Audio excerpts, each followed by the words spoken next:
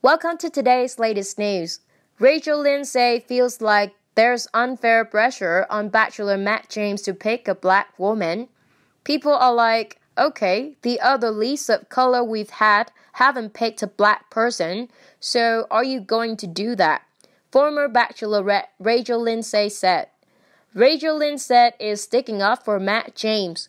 While speaking with Andy Cohen on his Radio Andy Sirius XM show on Wednesday, the former bachelorette opened up about the criticism that James, the franchise's first black bachelor, has faced and the unfair pressure that is being placed on him to choose a black woman as his final pick. Lindsay, 35, who was the first black bachelorette, explained to Cohen that people don't understand unless you're in the seat the pressure that is on you from America.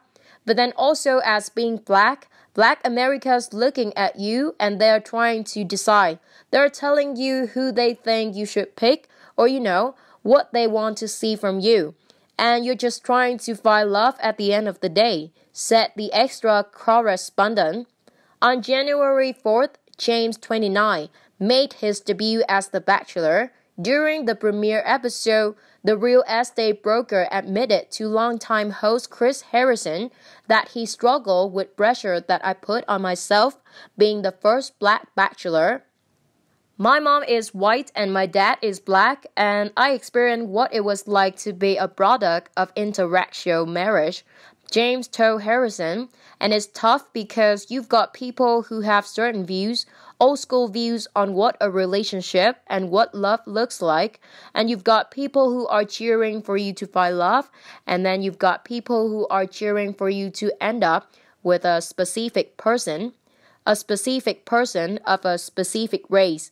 That's something that kept me up at night. Is like, I don't want to piss off black people, I don't want to piss off white people, but I'm both of those. You know what I mean? It's like, how do I please everybody? James said. Since the discussion aired, Lindsay shared that Matt has gotten a lot of criticism for expressing his feelings. He had a conversation with Chris Harrison on the show for expressing how he feels about the situation, and I told Matt this as well. Like, before you come onto the show, you just have to understand that people are going to be critical for of your decision no matter what. But you're making a decision for you that says, you know, like puts you and you determining your future and you have to leave this life. So you have to be comfortable with who it is that you're going to choose, she said, adding that she advised him to cancel out all the outside noise. She also admitted that James' time as the franchise leading man is even harder after following two bachelorettes who didn't choose a black contestant as their final pick.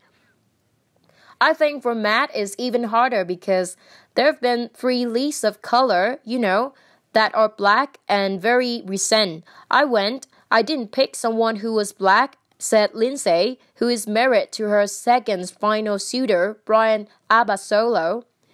Then we had Tayshia, who's black and Latina. She didn't pick someone black. Lindsay said about Tayshia Adams, who is engaged to Zac Clark. Now we have Matt James, and I feel like the pressure is on him. People are like, okay, the other least of color we've had haven't picked a black person.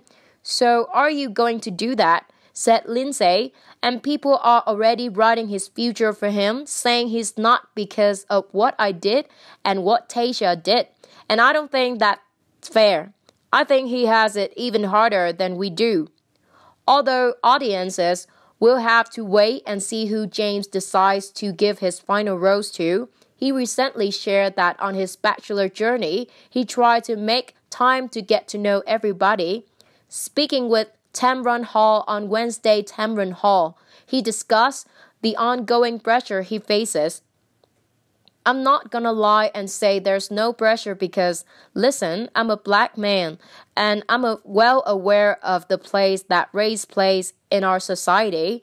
And I'm on The Bachelor to get to know the whole host of people, and I'm making time to get to know everybody, he told Hall. He also went on to share that what he's looking for isn't specific to a certain race. James said James, there's qualities that I found endearing and a whole host of people that I've been with in the past, whether that's black women, Middle Eastern women, Asian women, white women, and I just hope people are as open to that idea as I am.